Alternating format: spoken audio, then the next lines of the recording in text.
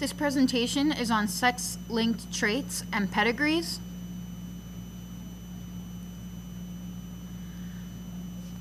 Just a quick review of sex-linked traits. Remember that women have two X chromosomes for their sex chromosomes, and men will have one X and one Y for their sex chromosomes.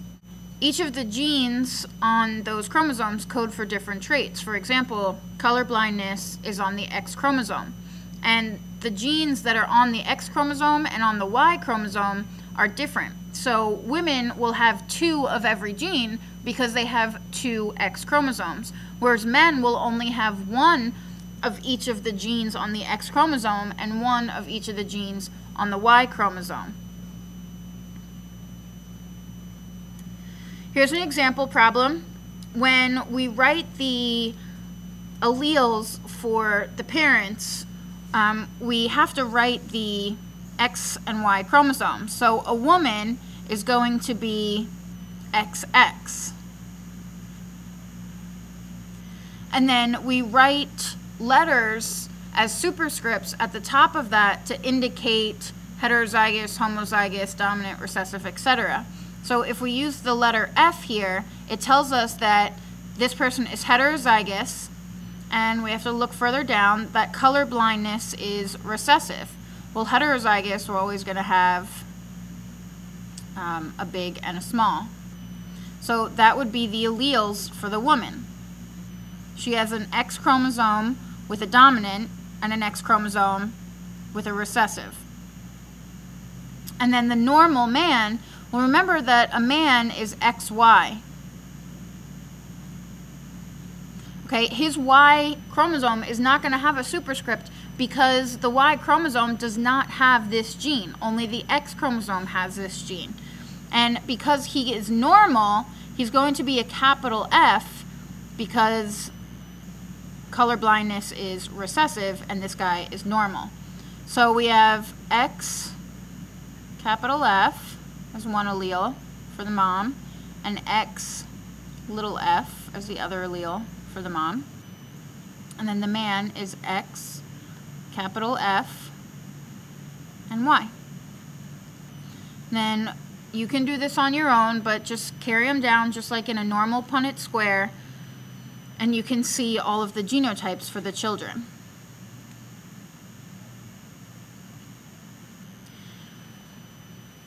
Now, a pedigree is a chart that shows the occurrence of a particular trait from one generation to the next, to the next, to the next within a family.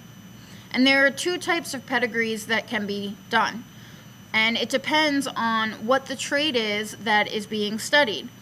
If it is autosomal, then the gene is on a non sex chromosome, on chromosomes 1 through 22.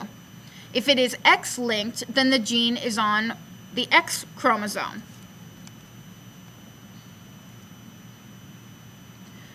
So here we have some symbols that are used in pedigrees. Um, as you can see here, a male is represented by a square, a female is represented by a circle. A mating between a male and a female is represented by a line drawn directly to, between the two. Parents and children together, we have the mating up top, and then we have a line that comes down between them to their offspring. Those are four common ones that we're going to be using. Uh, we don't need to worry about the ones up until the affected individuals. Affected individuals will be shaded in, they will be dark. If an individual is heterozygous for an autosomal recessive trait, they're half shaded in, showing that they are a carrier for the trait.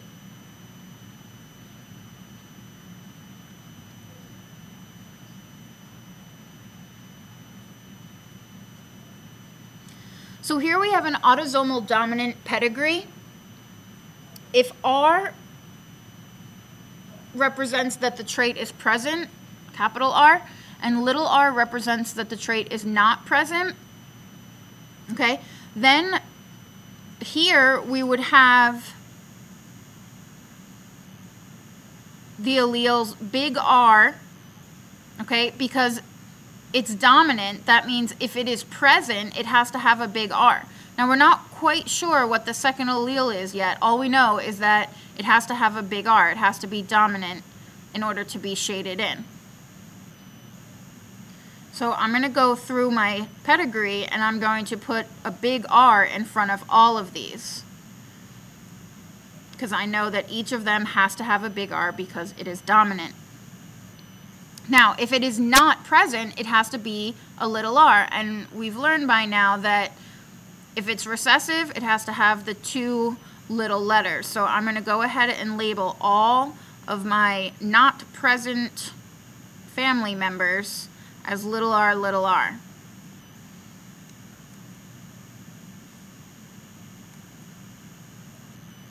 Now, in order to figure out the second allele for each of these, I have to look at their children. So in this case, I have both parents that both have a big R.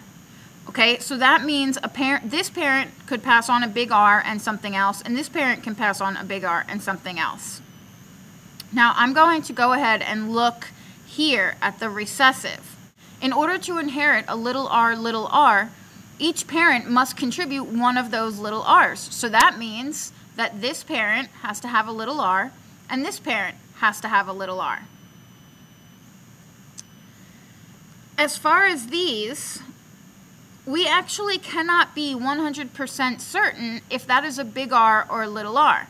Okay, if they got their big R from this parent, from parent number one, they could have inherited the big R or the little r from the other parent.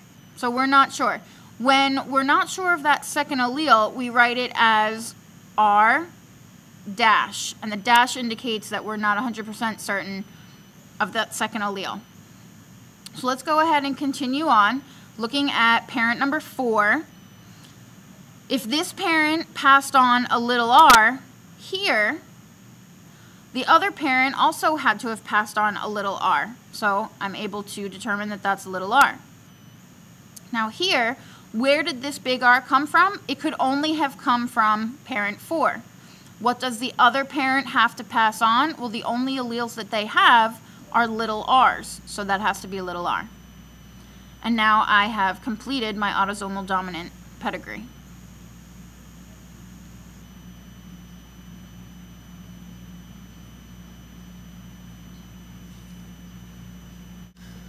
Autosomal recessive is pretty much the complete opposite. Okay?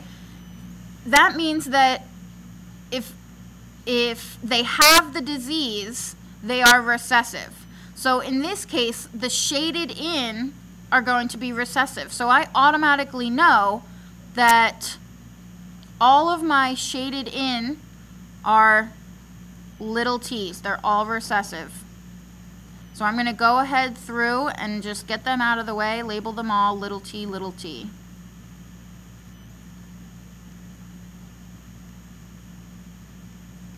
They're going to be important when determining the other family members.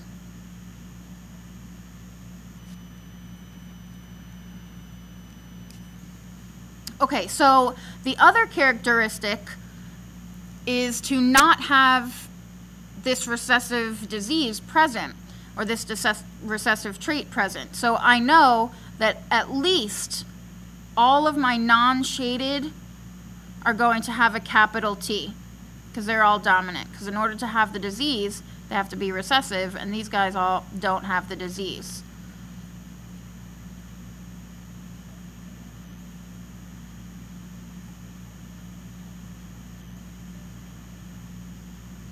Now, I need to figure out what the second allele is for these.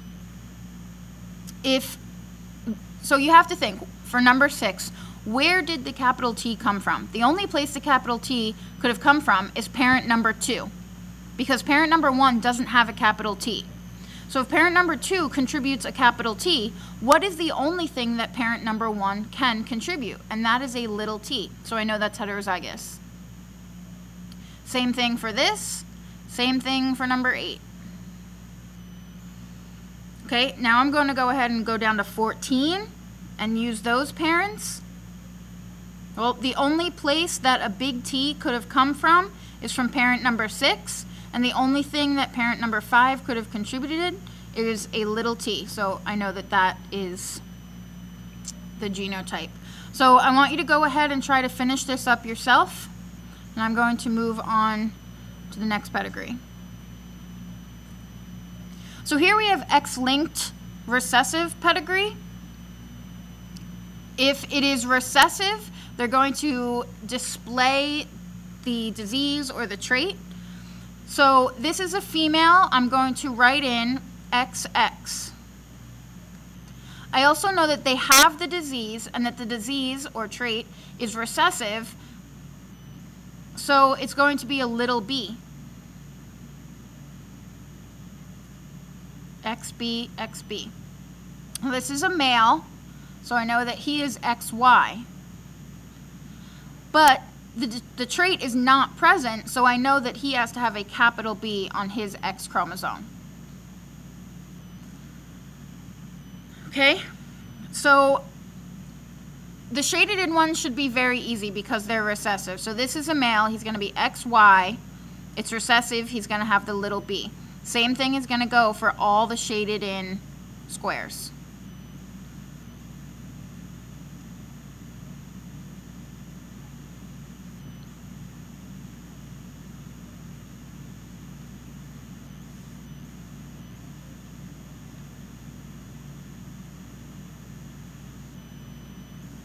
And then the females that have the disease or the recessive trait are also going to be pretty easy because they're going to be X, little b, X, little b.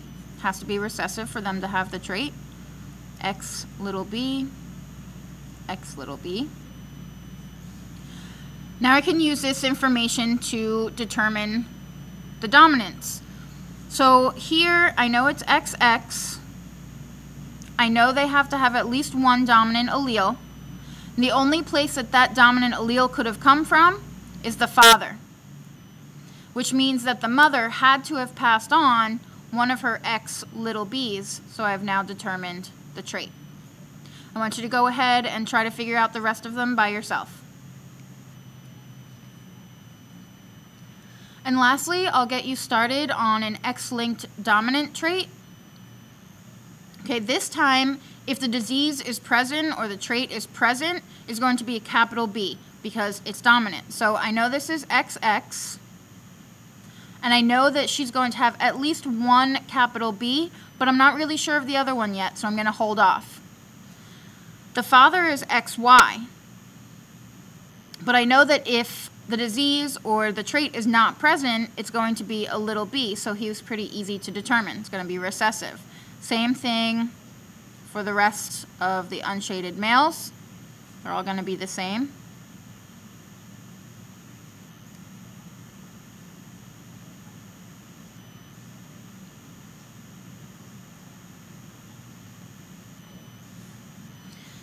And the female unshaded is also going to be recessive, so we know X little b, X little b.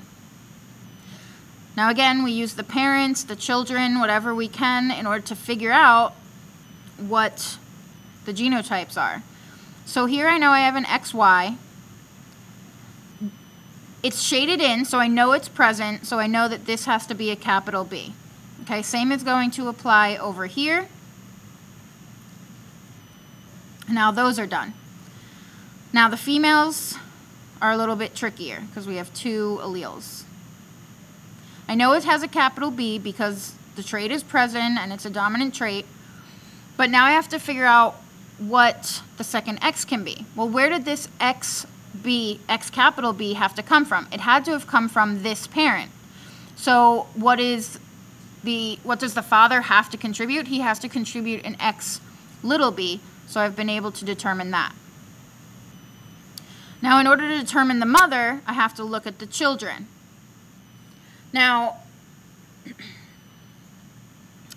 we need to look at the male here in order to figure this out because the father has to contribute his Y to his males. Okay? So he can't contribute an X, otherwise the offspring would come out as a female. So he has to contribute his Y. So for the other allele, we have to look at the mother. The other allele here we determined is a little b. So now we can say, okay, this is definitely a little b because that's what the mom had to pass on to this male. Okay, go ahead and try to figure out number eight and number 10 on your own.